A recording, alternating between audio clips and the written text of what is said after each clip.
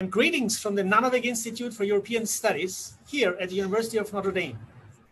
My name is Clemens Sedmak, and I serve as interim director of the Nanovic Institute. Welcome to the screening of Gabe Polsky's film Red Penguins. The Nanovic Institute has a long tradition of bringing films that shed light on Europe to the Notre Dame community and beyond. Ideally, we have the, di- the film director join us for a screening and a subsequent panel to discuss the film. This afternoon, we are almost in this ideal position. We have the director of the film, we have the screening of the film, and we have a panel afterwards. What is, however, less ideal is the fact that this is a virtual event as such an experiment for us. I owe a lot of gratitude to our technical support and our communications team for making this possible.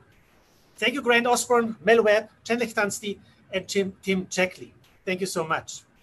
And thank you all for joining us in this adventure. Please allow me to explain the choreography of the afternoon. I will introduce Gabe Polsky, the film director, himself, the very Gabe. Then Gabe will offer a brief introduction to the film. After that, we will have the screening of Red Penguins. Please do not use the Q&A button for comments or questions during the screening. After the film screening, we will have a panel discussion discussing the film with director Gabe Polsky, ice hockey legend Peter and Notre Dame professor John Soares. I will introduce our panelists at the beginning of the panel, but I want to say a word of welcome to Peter Stastny already now. He's joining us from Bratislava with a six hours time difference. Welcome, Peter, and thank you so much for being with us. I would also like you to know that we will show about two minutes of credits after the film as an opportunity to take a quick break before the panel begins. We expect to begin the panel discussion around 5.30 Eastern Time.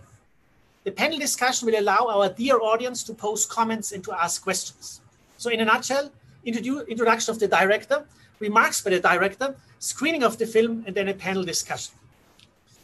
So here's my introduction of Gabe Polsky. Gabe Polsky is a well-known film director, writer, and producer. Born to Soviet immigrants and raised in the Chicago area, uh, he went to Yale University and studied hard, but also played hockey. He's a bridge builder between East and West film and sports. His 2018 documentary, In Search of Greatness, features original interviews with sports world legends Wayne Gretzky, Pele, and Jerry Rice. And Gabe has done so much more and will do so much more. Gabe Polsky has graciously collaborated with the Nanovic Institute in the past, having been initially connected to the Institute by Jane Hayden, the wonderful chair of our wonderful advisory board. Gabe visited campus to screen his previous film, Red Army, in 2015 as part of an event on elite athletes and the Cold War. Red Army won a number of awards and was the only documentary included in the official selections at the 2014 Cannes and Toronto Film Festivals. The campus event here in Notre Dame around the film Red Army also featured Peter Stastny, who will join us for the panel this afternoon as well. The video of Gabe's introduction of Red Army and a panel discussion remain available on the Institute's website. If you look at the chat, you will see that my colleagues have magically put that link in the chat feature for your future reference. We are so grateful, Gabe, that you're with us this afternoon. Maybe please ask you for your introductory remarks and thank you for your film. Clemens, thank you for the the phenomenal introduction. I really appreciate it, and and I'm honored to be here again at the Nan- Nanovic Institute for European Studies. It's it's really a pleasure.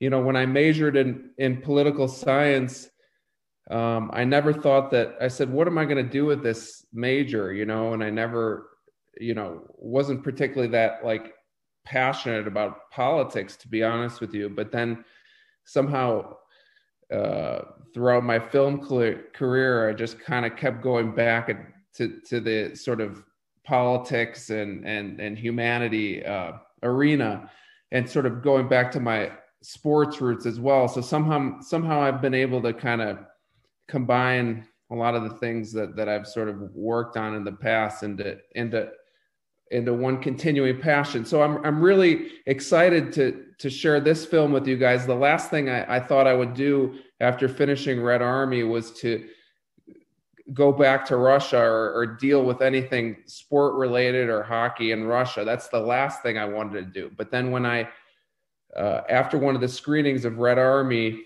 um, this guy came up to me, kind of strange looking guy started pitching another story about Russia and you know the crazy things that were happening in the 90s and how unbelievable it was.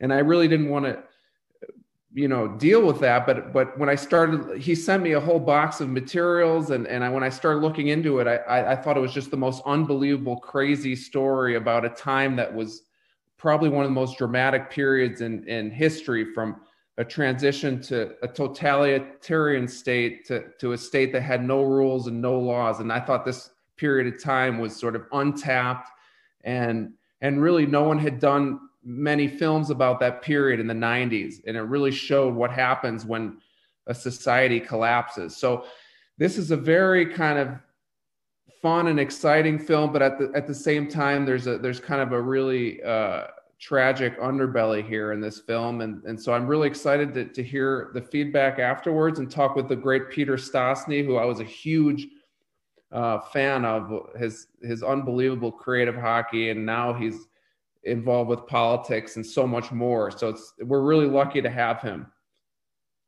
So thank you and and and enjoy the film, and I'm excited to talk to everybody afterwards.